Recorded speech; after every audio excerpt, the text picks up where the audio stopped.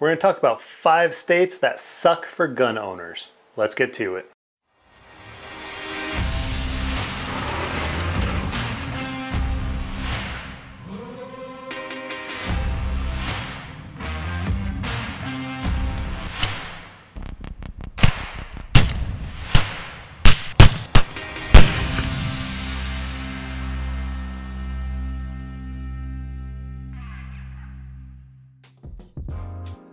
What's going on everybody? My name is Steve with the Mr. Big Kid channel. Thank you all so much for watching and as always, thank you all for tuning in.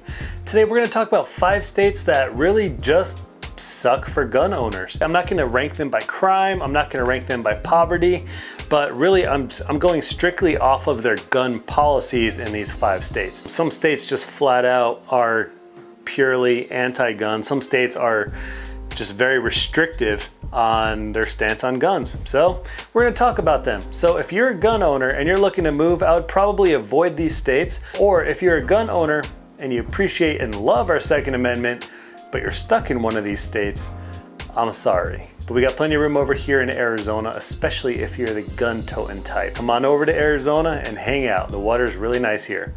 Well, we don't really have water, so just heat. The sun's really nice. Okay, let's get to it. In no particular order, I saved, in my opinion, the worst state for the last. Let's get started. First state on the list, you probably all know this, is probably not a shock to you guys, but I'm gonna go with California. Okay, so here's all the, uh, the restrictions that California has on firearms. You need a permit to carry rifles and handguns. The permit policy in California is may issue, so they don't have to give you a permit. Uh, you need a permit to purchase rifles and handguns. All firearms must be registered. Mandatory registration. Um, background checks on private gun sales are required. And you have a 10 round capacity limit for magazines. The good news is uh, in California, as far as open carry, uh, in some of the rural counties in California, you can actually open carry. I'm gonna go with the next one. You guys probably also know this, and it's probably not a big shock to you. New York.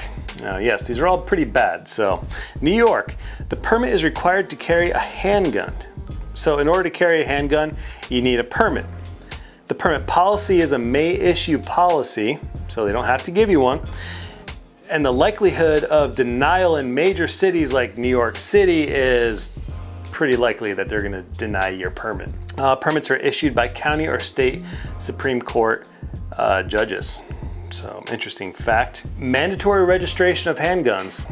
No open carry is allowed.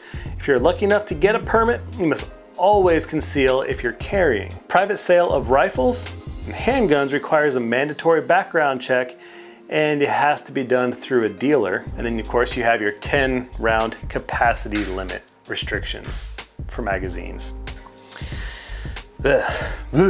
Okay, we'll go with this one. Maryland, yes, Maryland. You need a permit to carry a concealed handgun. Permit policy, again, is may issue. They don't have to give you a permit with a high likelihood of a denial. You need a permit to purchase a handgun as well. You need a handgun qualification license to purchase a handgun handguns and automatic weapons require registration with the police. So yes, there, there is registration on firearms. Do you need a permit for open carry. Uh, requires a carry permit for a handgun, but usually only police or security guards can open carry. And must go through a dealer for private sale and you must have a background check. You have your 10 round magazine capacity restrictions and there is currently an assault weapons ban in Maryland and they cite specific makes and models and features of the firearms and stuff that they're banning. Okay, New Jersey. New Jersey sucks for guns and I have a couple friends that live there so I'm sorry guys, but permit is required to carry handguns and rifles. Permit policy is may issue with a high likelihood of denial. A purchase permit is required to purchase handguns and rifles.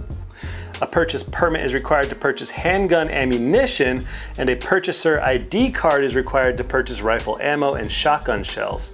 Voluntary registrations for handguns and rifles.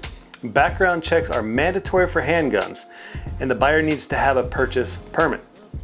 10 round capacity uh, limit for semi-auto handguns and rifles, and then you have a six round capacity limit for semi-automatic shotguns. this is the last and certainly least most restrictive gun laws. And I'm gonna say, um, well, let's just get to it. Hawaii. Hawaii, you suck for guns. I'm sorry, it's a beautiful state. I've been there.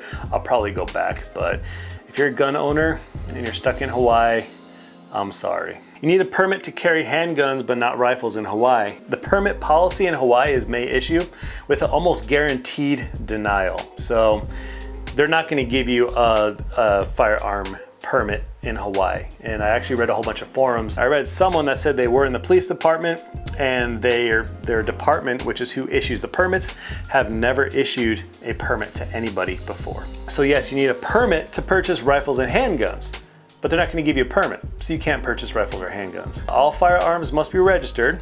Open carry is allowed for rifles and handguns though, but since Hawaii won't issue a permit, you can't have one anyways. Background check is mandatory for private gun sales and a permit is required for the purchaser of that gun, but they're not gonna give you a permit, so who cares? Then you have a 10 round capacity magazine limit restriction. So that's it. Those states are horrible. All those uh, beautiful states and their very restrictive gun rights. If you live in one of those states and you are a gun owner, gun enthusiast, I'm sorry. I'm really curious, is the information that I got accurate? I don't know, but I'd love to hear back from you guys. Um, I am from a pretty restrictive state originally. I live in Arizona now and we have really awesome lax gun laws here and it's it's a wonderful place for gun owners minus the really hot weather and closed down deserts in the summertime you know, due to dryness and all that. Um, Arizona is a great place, but I did come from Connecticut, and Connecticut is horrible for gun rights, especially right now, um, pretty much after the whole Newtown thing happened. They really cracked down a lot on restricting uh, the rights of citizens. I do want to say one thing before we part. Uh, criminals will always follow the gun laws. So if you take them out of the hands of citizens, more than likely the criminal is gonna not use guns too because they want to play fair. Because criminals are really concerned um, about making sure that the, the playing field is even you know, for the people, for the victims, their intended victims. So if you guys end up turning in your rifles and your handguns, and if you guys vote for people that are pushing policies that are restricting our rights, then that's a good move because that means the criminals are gonna um, turn their guns in too. Thank you all for watching. If you guys like this stuff, please give me a subscribe, hit the bell notification, and don't forget to leave a comment in the comment section below. I'd love to hear your experience. What state do you live in and how's your, how's your state's policies in general on gun ownership? Anyways, all right. See you guys. Have a good one.